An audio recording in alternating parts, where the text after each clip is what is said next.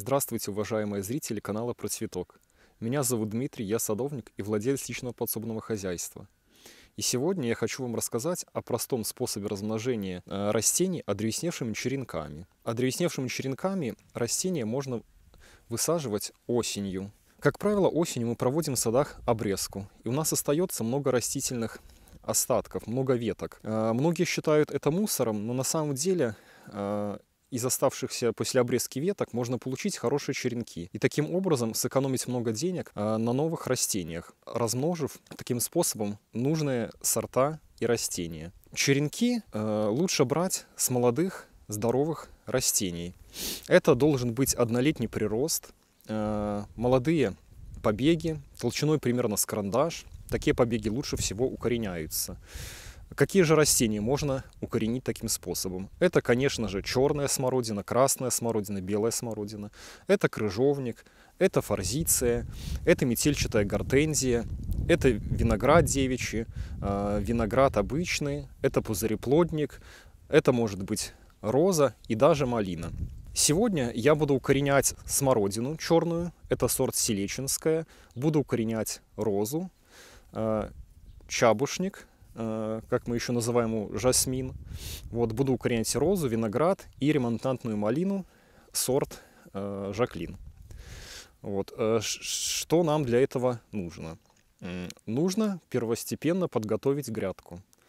Значит, э, если у нас почвы суглинистые, тяжелые, то обязательно нужно вносить песок. Значит, э, какие э, вещества вношу я?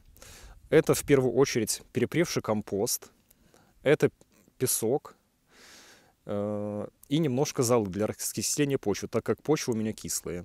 Значит, на метр квадратный я вношу примерно ведро компоста, ведро песка и полстакана золы. Это на метр квадратной площади. Вношу все эти вещества и перекапываю грядку. Почва должна быть рыхлой и легкой. Вот после этого я приступаю к заготовке черенков. Нарезаю однолетние побеги.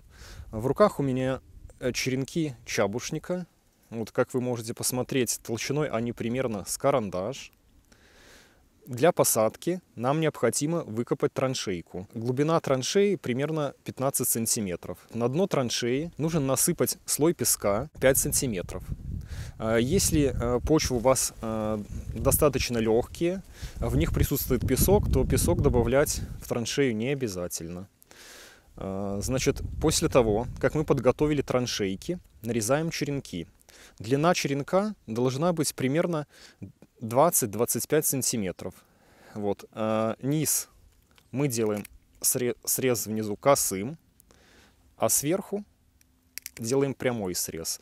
А, нижний срез должен быть косым для того, чтобы а, лучше образовывался калиус и в итоге развивалась мощная корневая система. Вот, вот такого плана череночки мы заготавливаем. Вот выкапываем траншейку и э, ставим их под небольшим уклоном. Угол примерно в 45 градусов.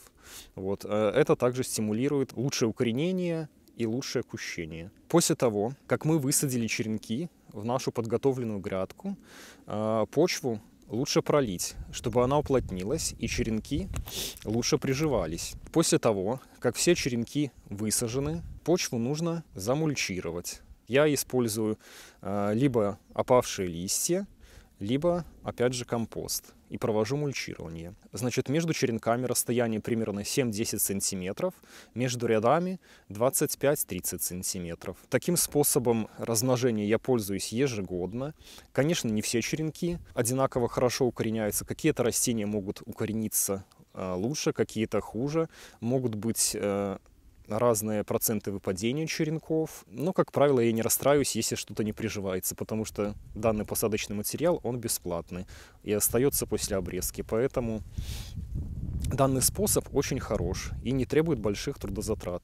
Например, в отличие от э, черенкования зелеными черенками, размножения зелеными черенками, данный способ э, размножения растений э, более экономически выгоден, потому что мы получаем э, уже молодые растения за, за один вегетационный период.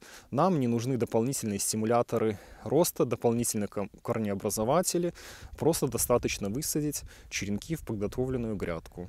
Надеюсь, данный способ э, размножения растений э, вам также понадобится, и вы сможете получить новые и бесплатные растения у себя в саду.